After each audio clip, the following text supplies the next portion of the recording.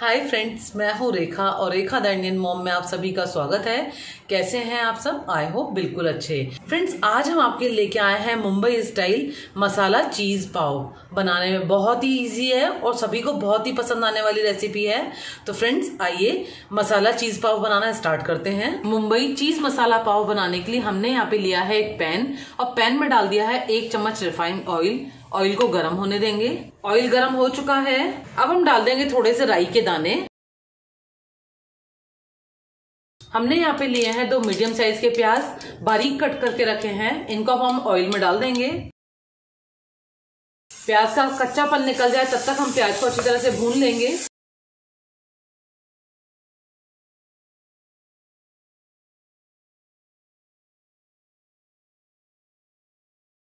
प्याज का colour change हो गया है। अब हम डाल देंगे इसमें शिमला मिर्च। हमने यहाँ पे एक बड़े साइज़ की शिमला मिर्च बारीक कट करके रखी है। शिमला मिर्च का फ्लेवर बहुत ही अच्छा आता है। इसलिए हमने शिमला मिर्च डाल दी है। सभी सब्जियों को बहुत अच्छी तरह से फ्राई करना है हमें। एक कप हमने ली है बारीक कटी हुई पत्ता गोभी। पत्ता गोभी को भी हम पैन में डाल देंगे।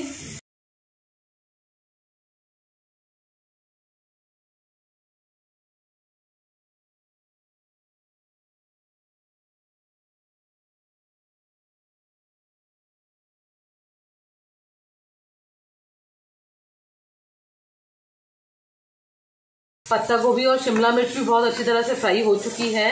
हमने यहाँ पे चार टमाटर लिए हैं, इनको बारीक कट कर लिया है और ये बहुत ही जूसी हैं, जो सलाद में काम में लेते हैं, वही वाले टमाटर हैं। इनको भी हमने पैन में डाल दिया है। अब बहुत ही अच्छी तरह से सभी चीज़ों को हम पका लेंगे।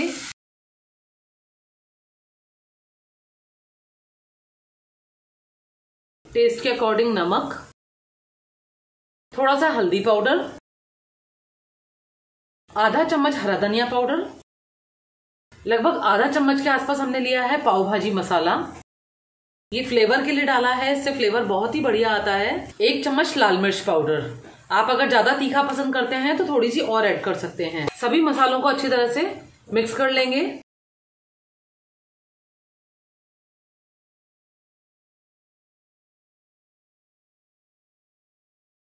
देखिए, सब्जियों में सारे मसाले मिक्स हो चुके हैं और अब हम इसको इस तरह से दबा दबा करके पका लेंगे। देखिए, हमने इस तरह से दबा दबा करके सभी टमाटरों को एकदम मैश कर लिया है और हमारी जो सब्ज़ियाँ हैं, वो बहुत अच्छे से तैयार हो चुकी हैं। देखिए, सभी सब्ज़ियाँ बहुत अच्छी तरह से तैयार हो गई हैं। अब हम डाल देंगे आधा ग्लास पानी। पानी हमने इसलिए डाला है क्योंकि पानी डालने से हमारी जो सब्ज़ियाँ हैं, वो बहुत अच्छे से जूसी हो गई हैं। और अब हम जब मसाले को पाव के अंदर लगाएँगे तो हमारे पाव भी अंदर तक गीले हो जाएँगे। ड्राइनेस खत्म हो जाएगी पाव की और खाने में वो बहुत ही टेस्टी लगेगा।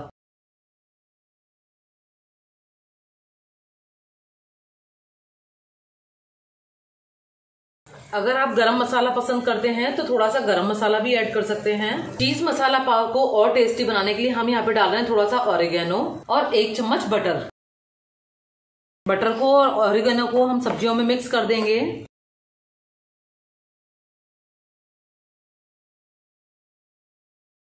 चीज़ मसाला पाव के लिए हमारी सब्ज़ियाँ एकदम रेडी हैं। अब हम सब्जियों को एक साइड में कर देंगे। ये देखिए, हमने पैन में एक साइड में सब्जियों को कर दिया है, साइड से। हमने पाव लिया है और पाव को बीच में से कट कर देंगे।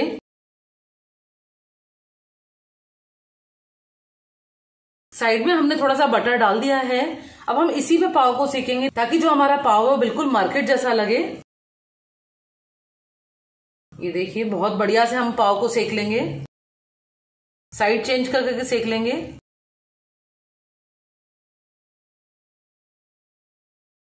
ऊपर भी हमने थोड़ा सा बटर लगा दिया है। साइड चेंज कर देंगे। देखिए कितना बढ़िया से हमारा पाव सिक गया है। बहुत ही बढ़िया खुशबू आ रही है।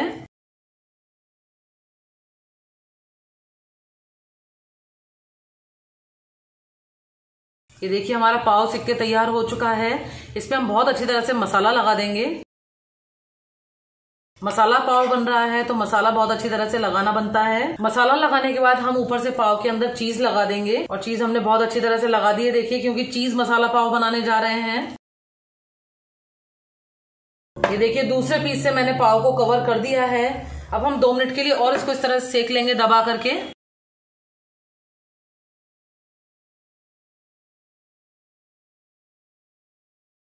पाव के ऊपर भी थोड़ा सा मसाला लगा देंगे ताकि लुकिंग में और भी बढ़िया लगे और और भी टेस्टी हो जाए। ये देखिए, सब तरफ़ से हमने मसाला लगा दिया है।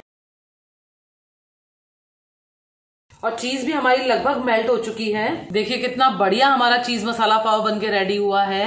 मैं आपको सब तरफ़ से दिखाती हूँ। इसी तरह से हम सारे मसाला पाव बना करके रेडी कर लेंगे।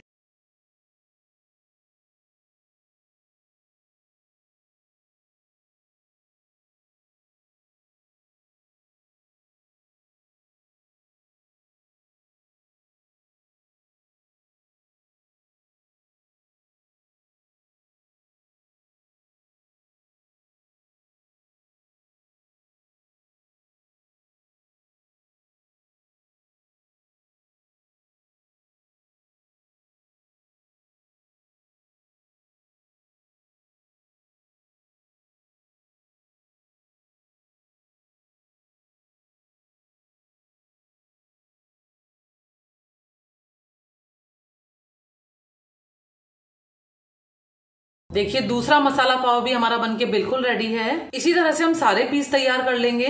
देखिए, हमारा मसाला चीज़ पाव बिल्कुल रेडी है। हमने सर्व भी कर दिया है। ऊपर से मैं थोड़ा सा ऑरिगेनो और चिली फ्लेक्स डाल रही हूँ।